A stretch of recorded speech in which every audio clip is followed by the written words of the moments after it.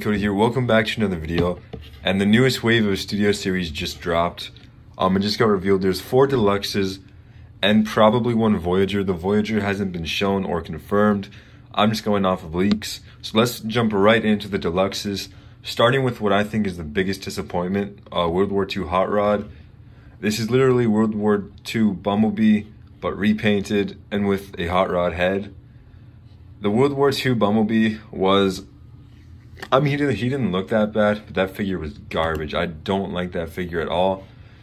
Um, I bought it because I thought it looks cool, but in person, it's just not a very good figure. It was, it was definitely the worst out of that wave. Um, I wanted to get this so I'd have a hot rod in scale, but I don't think I will because, like I said, I already have the mold and I don't like it. So I hope they use that hot rod head for something else because hot rod, the head does look really, really accurate and I'd like a real, like a Lamborghini Centenario or Centenario hot rod. Not the old car, not the World War II. I want the Centenario. That's the one that I'd buy. Moving on to the brand new Bumblebee, which when I saw this, I was like, oh, it's just another Bumblebee. Because I thought we already had a new Camaro Bumblebee, but we don't. So this is the 2007 Concept Camaro Bumblebee. It looks a lot like the Dark of the Moon figure and kind of looks like the um, the Hunt for the Decepticons figure. And I actually really like it. It's got tons of chrome or tons of silver paint, tons of tons of yellow paint and black paint. It looks like his mask folded up because in all the pictures we see are his mask down, but it looks like his mask is gonna fold up too, like the Hunt for the Decepticon figure. Um, the cannon looks pretty cool. And yeah, even the vehicle mode looks really, really good. Am I gonna buy this?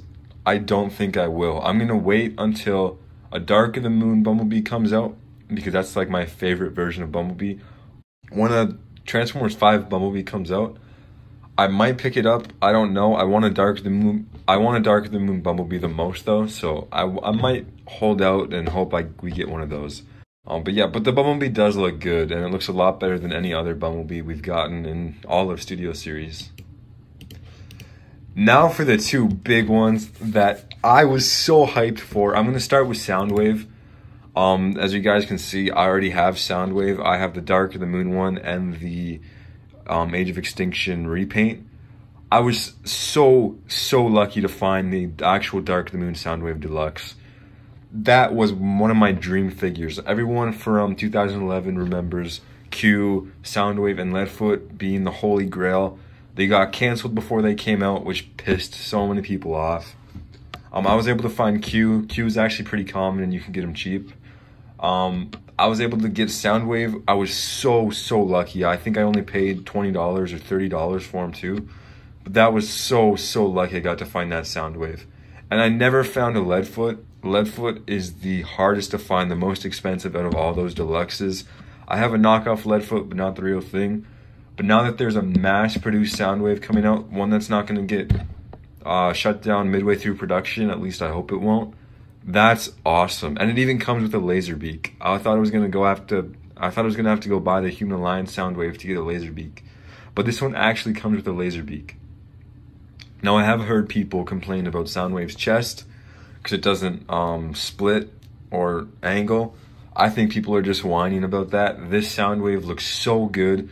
The detail on the head alone is mind blowing to me. And yeah, and it even comes with a little Laserbeak. Like, what more do you want from a deluxe Soundwave? This is going to be perfect. The perfect Soundwave. And the SLS, of course, looks so, so good. Um, fingers crossed we get a Revenge of the Fallen Soundwave with Ravage. If we do, I would totally buy that in a heartbeat. Or, or some other figure with a Ravage. But yeah, Soundwave is a must buy. Must buy. And finally, for something a lot of people probably aren't excited about, but for me, I've been waiting for this for years and years and years. Ever since I was a kid in 2009, 10 years ago, I always dreamed that they'd come out with a three pack of the RC sisters and they were accurate. Because the deluxes were way too big and um, and Elita 1 should have been the RC mold, but she wasn't and she was the wrong color. And then they released them in Human Alliance, but they used RC's mold for Chromia, and they used Chromia's mold for RC, so they got them backwards. And then I think they used Elita 1's mold for Chromia again when it should have been RC because she looks more like RC than Chromia. But anyways, and back in 2009, no one knew who the third RC sister was. We knew it was RC, Chromia, but no one knew who the purple one was. A couple years later, got revealed that it was Elita 1.